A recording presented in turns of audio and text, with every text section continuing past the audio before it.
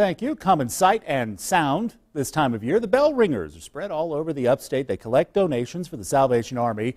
But this season of giving has not been as successful in, as it has been in past years. 7 News reporter Nicole Ford shows us why the donations have been down and what that means for the agency next year.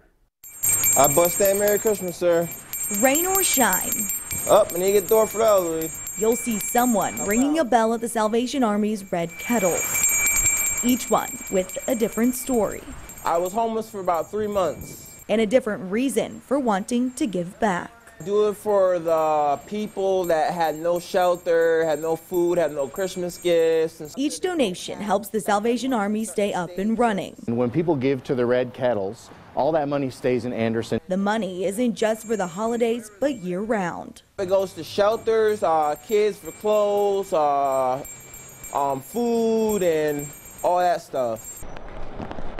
But this year, the rain just won't stop impacting donations. The Anderson chapter says they're about $10,000 below the goal. Spartanburg, $15,000 with just four days to go. Our shelter is open 365 days a year. Uh, all the services that we give, we're there every single day, seven days a week, 24 hours a day. Our buildings are open. So we don't ever close at the Salvation Army. There's never a time that we do close, and we need that support to make sure that we're able to give those services.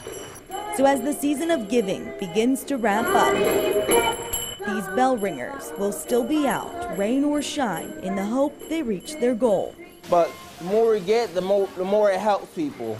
In Anderson, Nicole Ford. Merry Christmas! 7 News. It's a pretty fantastic dance, right? Uh, the kettles will, won't be out after Christmas Eve, but of course you can still make a donation to your local Salvation Army. If you want to get it on this year's taxes, you can do it all the way through December 31st. You'll find all the details at WSPA.com.